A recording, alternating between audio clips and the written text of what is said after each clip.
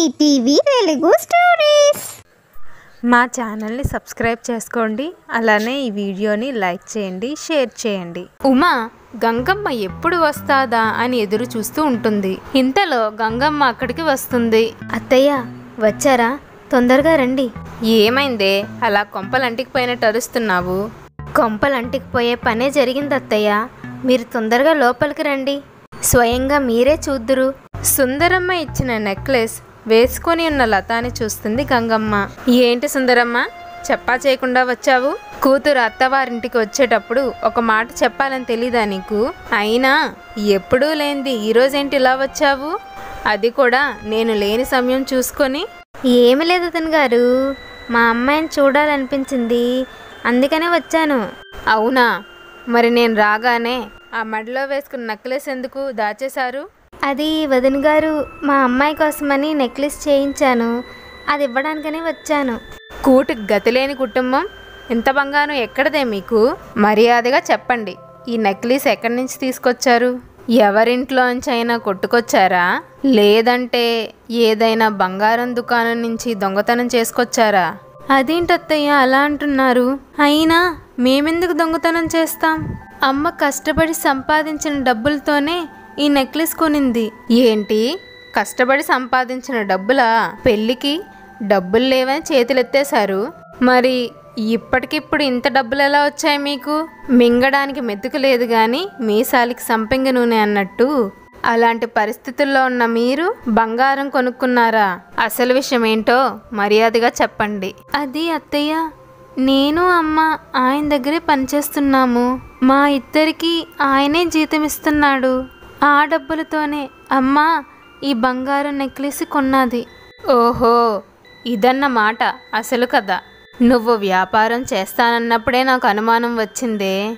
అందుకేనా నువ్వు వచ్చిన దగ్గర నుంచి తక్కువ డబ్బులే నా చేతికి ఇస్తున్నాడు. కారణం ఏంటి అని అడిగితే నష్టాల్లో నడుస్తుందమ్మా అని అన్నాడు. కానీ అసలు నిజం ఇదన్నమాట వాడి వ్యాపారం వాడి కోసం చేస్తున్నాడా? లేకపోతే మీ సరదాలు తీర్చడం కోసం చేస్తున్నాడా? వాడంతలా కష్టపడి పనిచేస్తుంటే మీ ఇద్దరు ఆ వచ్చిన లాభాల్ని నొక్కేస్తున్నారా? ఏనాడు డబ్బు కానలేని వారికి ఒకేసారి అంత డబ్బు చూస్తే ఇలాంటి ఆలోచనలే పుట్టుకొస్తాయి. అదేంటి గారు అలా అంటున్నారు? మేము పేదవాళ్ళమే కావచ్చు. కానీ గుణానికి ఏమాత్రం తీసిపోము. అలాంటి పాడుబుద్ధులు మా ఇంటా వంట లేవు. మా కష్టానికి తగ్గట్టు జీతం తీసుకున్నాం కానీ అంతేగాని పరుల సొమ్ము ఆశించే అలవాటు మాకు లేదు. రెక్కలు ముక్కలు చేసుకొని కష్టపడి సంపాదిస్తామే గాని ఇతరులది ఏ వస్తువు మేము ఆశించాం. చేసిందంతా చేసి ఇప్పుడు నంగనాచులా మాట్లాడుతున్నావా? మీ ఇద్దరూ ఆ వ్యాపారానికి పట్టిన శని. అయినా మీతో ఏంటి? వాడు రాని వాడితోనే మాట్లాడుతాను. శివ రవి ఇంటికి రాగానే గంగమ్మ జరిగిన విషయమంతా చెప్పి శివాని అడుగుతుంది. ఏరా ఆ సుందరమ్మకు కూడా ఉద్యోగం ఇచ్చావట దీనికి వీళ్ళమ్మకి నెల నెల జీతం ఇస్తూ పెంచి పోషిస్తున్నావట. అది అమ్మా అత్తయ్య ఇబ్బందుల్లో ఉందమ్మా అందుకే సాయం చేశాను. అయినా నేను చేసింది మంచిదే కదమ్మా. మన వాళ్ళకి మనం కాక ఇంకెవరు సాయం చేస్తారు చెప్పు. కాకపోతే ఈ విషయం నీకు తెలిస్తే ఎక్కడ కోపపడతావని నేనే దాచిపెట్టాను. అత్తయ్య లత వచ్చాక వ్యాపారం ఇంకా బాగా సాగుతుంది. చాలే తల్లికి చెప్పకుండా ఇలాంటి పనులన్నీ చేయమని ఎవర్రా నీకు మప్పింది? ఇదే కదా? ఇది దీనమ్మ నిన్ను మాయ చేశారా నీకు లోకజ్ఞానం లేదని నిన్ను మార్చేసి ఎలా ఆడుకుంటున్నారో చూడు. వీళ్ళకి డబ్బులు కావాలి. అది వచ్చే మార్గం ఏంటా అని ఆలోచించి ఈ పథకం పన్నారు. ఇది వచ్చిన దగ్గర నుంచి ఇంట్లో అసలు మనశ్శాంతి ఉండటం లేదు. చూసావారా? ఇది వీళ్ళమ్మని ఎలా తీసుకొచ్చిందో? రేపొద్దున్న ఉమా కూడా ఇలానే తీసుకొస్తుంది. వీళ్ళందరినీ పెంచి పోషించడానికి ఏంటి మనం ఇక్కడున్నాం? ఇంకా దీన్ని ఇలానే వదిలేస్తే ఏదో ఒక రోజు మన కుటుంబం నుంచి నిన్ను దూరం చేస్తుంది. ఇలాంటి వాళ్ళని ఎక్కడ ఉంచాలో అక్కడే ఉంచాలిరా. ఇప్పుడే దీన్ని వీళ్ళ పుట్టింటికి పంపించే. దీన్ని వీళ్ళమ్మని వెంటనే ఉద్యోగం నుంచి తీసే. ఇంట్లో పెద్దవాళ్ళకి ఒక్క మాట కూడా చెప్పకుండా ఇలాంటి పనులు చేయించింది కదా. అందుకు దీనికి ఇదే శిక్ష. పుట్టింటికి పంపించేంత తప్పు ఏం చేసిందమ్మా? వాళ్ళు పనిచేసినందుకు ఇద్దరికీ జీతం ఇచ్చాను. వాళ్ళు కష్టపడి సంపాదించిన డబ్బులతోనే ఆ హారం కొనుక్కున్నారు. అందులో తప్పే ఉంది? వీళ్ళు నిన్ను అమాయకుని చేసి నీతో ఆటలు ఆడుతున్నారా?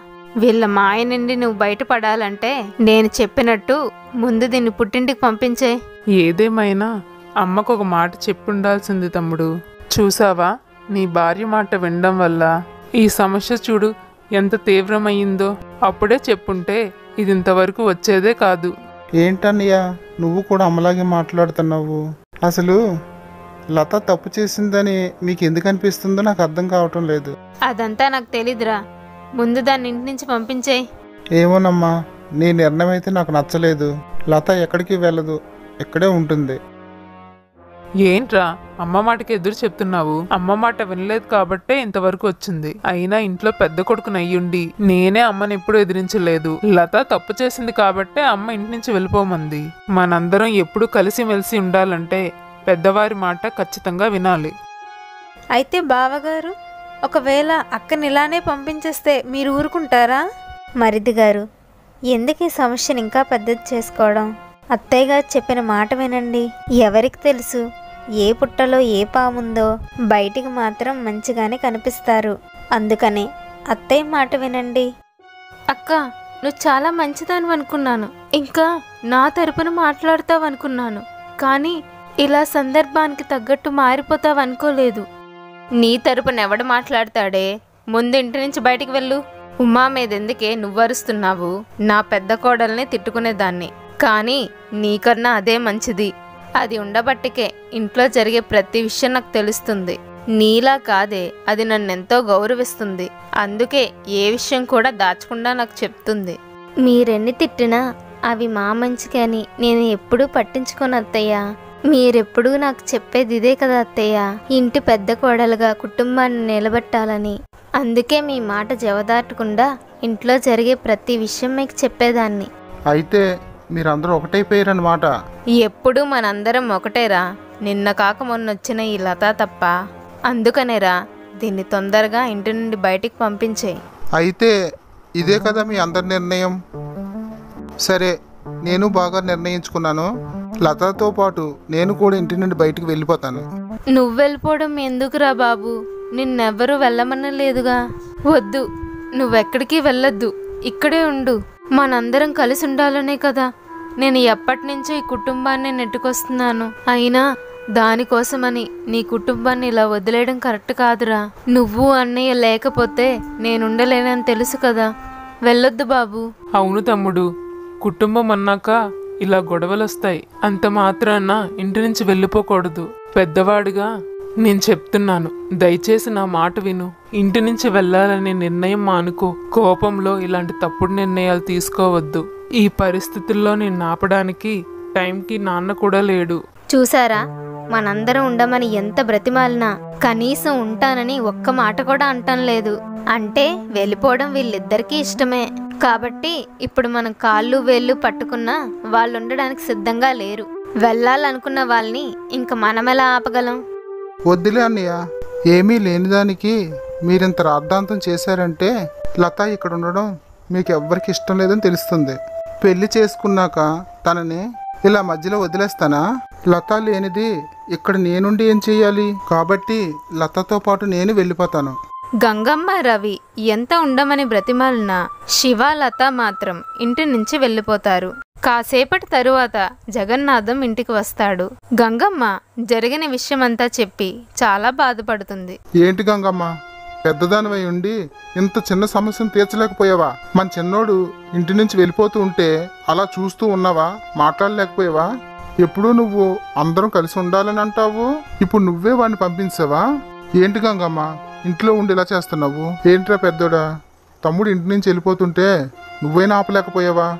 గోటుతో పోయేదాన్ని గొడ్డల వరకు తీసుకొచ్చారా? నేను అమ్మ తమ్ముడిని ఉండమని చాలా బ్రతిమాలం నాన్న. కానీ వాడు మా ఇద్దరి మాట అస్సలు వినలేదు. ఇందులో అమ్మ తప్పేమీ లేదు నాన్న. అమ్మనేమీ అనొద్దు. అయినా వాళ్ళు ముందు నుంచి వెళ్ళిపోవాలనుకున్నారు మామయ్య.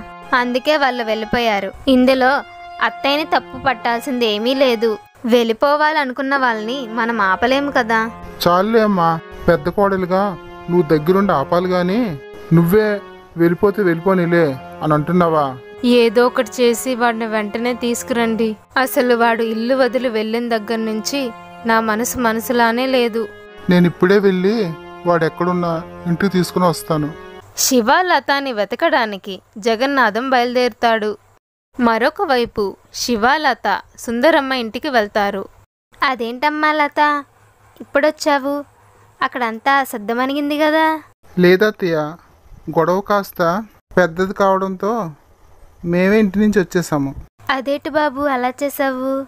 ఏదైనా అలా చేసి ఉండకూడదు. సరేలేండి ముందొచ్చి కూర్చోండి. చూడమ్మా నువ్వన్నా అల్లుడు గారికి చెప్పాలి కదా? కుటుంబం అన్నాక ఇలాంటివి సహజమే.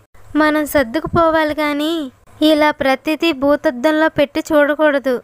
నా మాట విని కాసేపటి తరువాత మీ అత్తవారింటికి బయలుదేరండమ్మా. ఎంతైనా కుటుంబంతో కలిసి ఉంటేనే గౌరవం సంతోషం ఎంత మనం బయట వాళ్ళతో ఉన్నా సమయం వచ్చేసరికి ఇంట్లో వాళ్ళే మనకు సాయం చేస్తారు. ఆ దేవుడు నీకు చాలా మంచి కుటుంబాన్ని ఇచ్చాడమ్మా. నువ్వే నిలబెట్టుకోవాలి. నేను చెప్తుంది అర్థం చేసుకో తల్లి. వాళ్ళు మాట్లాడుకుంటూ ఉండగా జగన్నాథం వస్తాడు. ఏంటి బాబు? మీ అమ్మన్న మాటలకి కోపంతో ఇల్లు విడిచి వచ్చేసావా? అంత పౌరుషం ఎందుకు? సరే జరిగింది ఏదో జరిగింది. పద మన ఇంటికి వెళ్ళిపోదాం ఆ సమయంలో నువ్వు ఉంటే నువ్వు కూడా ఇలా చేసి ఉండేవాడు ఏమో. అందరూ ఏకమై లతాను ఇంటి నుండి గెంటేయాలని చూశారు. నాకు అది నచ్చక లతాతో పాటు వచ్చేసాను నాన్న.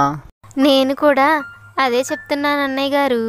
అన్నీ మర్చిపోయి ఇంటికి వెళ్ళమని. జగన్నాథం సుందరమ్మ వాళ్ళని ఎంత ఒప్పించినా శివ మాత్రం జరిగిన సంఘటని తలుచుకుంటూ ఇంటికి వెళ్ళడానికి నిరాకరిస్తాడు. కుటుంబం విడిపోతే తల్లిదండ్రులకు అది ఎంత మానసిక క్షోభం నీకు తెలియదు బాబు. అందుకే ఇంటికి రమ్మని చెబుతున్నాను. తర్వాత నీ ఇష్టం. అని చెప్పి ఎంతో వేదనతో జగన్నాథం ఇంటికి వెళ్తాడు. ఆ తరువాత ఏం జరిగిందో నెక్స్ట్ ఎపిసోడ్లో తెలుసుకుందాం.